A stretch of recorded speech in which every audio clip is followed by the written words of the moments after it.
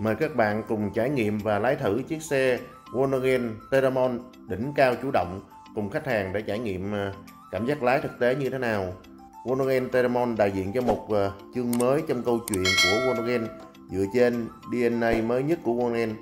Teramon được thiết kế 7 chỗ full size công nghệ hiện đại rộng rãi là một dòng xe đáng lưu ý trong các dòng xe cùng phân khúc với Explorer, Toyota Land Cruiser Prado.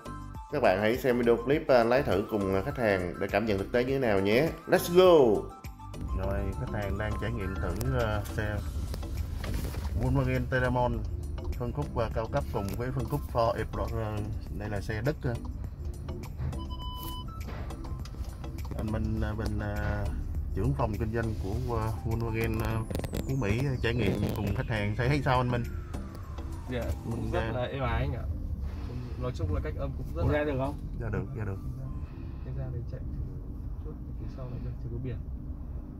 Chạy trái. Chắc sát ra ngoài tí xíu đó lấy ra ngoài xíu. Rồi. Trái hả? Trái đi anh trái trái. Đây cửa sổ trời xanh đất mà. Nhìn nguyên full bầu trời luôn đi ra biển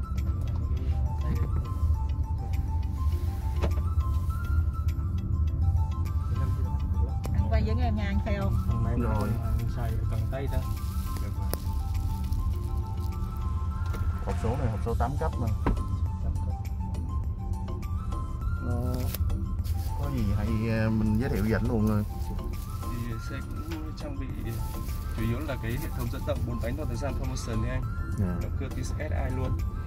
Dạ có bốn chế độ địa hình lái và có bốn chế độ lái luôn cần trái luôn giúp em.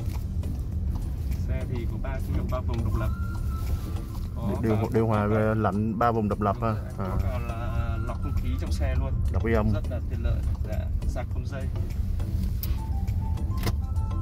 Cùng phân khúc với Explorer là xe này là coi như là tuyệt vời rồi. Mà Explorer thì option nó nhiều hơn thôi nhưng mà cái chất là chất của Mỹ còn cái này là chất của Đức. Mỗi Dạ, mỗi mỗi cái nó có cái hay cái nào hay hơn thì tùy mình cảm nhận mình thích nữa mình ờ, yêu thích ờ, cái chất của Đức hay chất của Mỹ. Đó, tùy anh Vinh với cảm nhận anh kêu là anh thích chất Đức hay anh thích chất Mỹ? Mình bán xe xe xe Ford thì mình giới, thiệu xe Ford lúc nào nó cũng chuẩn như này kia. Còn anh Minh anh bán xe Đức à.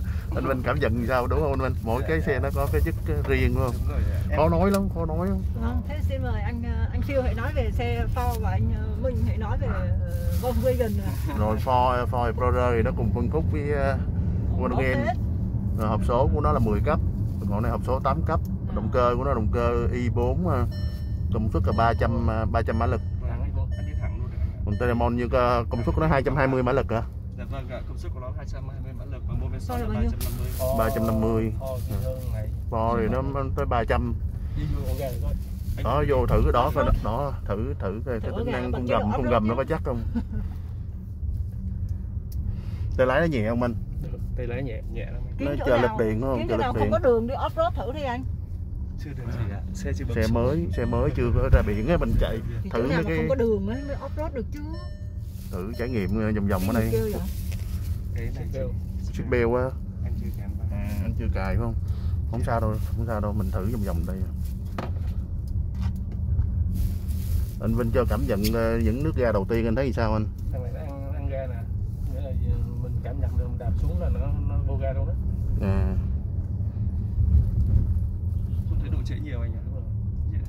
tại công suất nó tới 220 mã lực nó cũng khá mạnh nó mạnh hơn mấy cái dòng xe như ờ, cùng phân khúc với nó có Prado Prado có khoảng 180 mã lực à Prado hộp số của Prado có 6 cấp à. Yếu thì thằng này có thể thua thằng uh, Ford thôi. Dạ. Ford thì nó mạnh hơn Cái thằng Rado yếu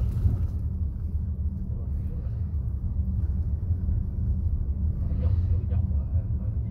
Cổ cổ. Này nó cũng có rui control hết mà. Camera của nó, nó camera sao ta?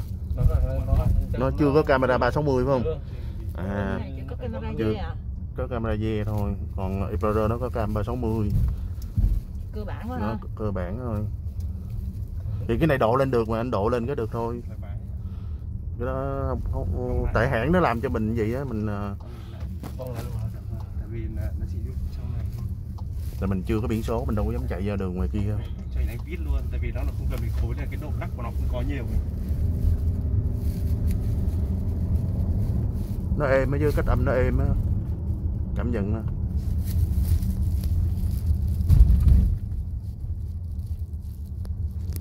Cái này xác nó của nó nặng cũng 2 tấn hai hai tấn hai tấn không trăm sáu mươi à vậy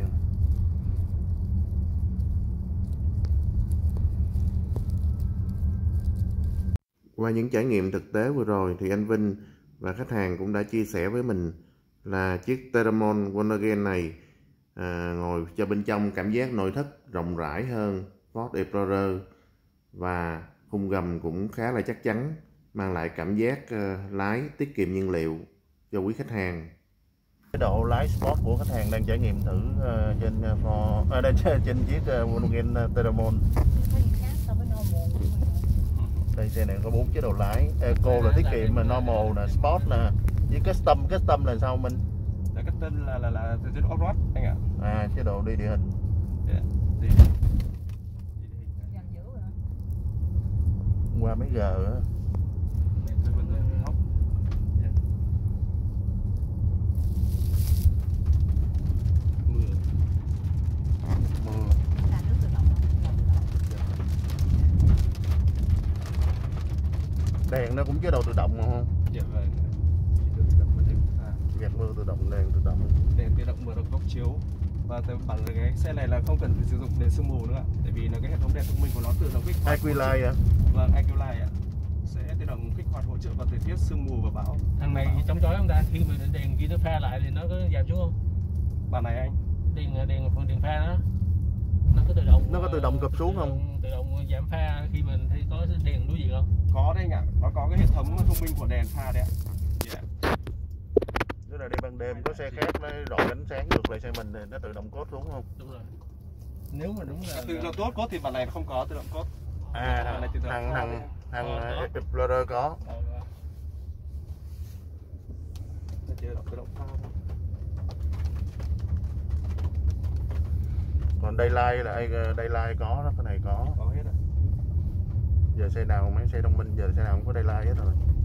Các bạn vừa theo dõi video clip khách hàng lái thử ờ, thực tế trên Teramon.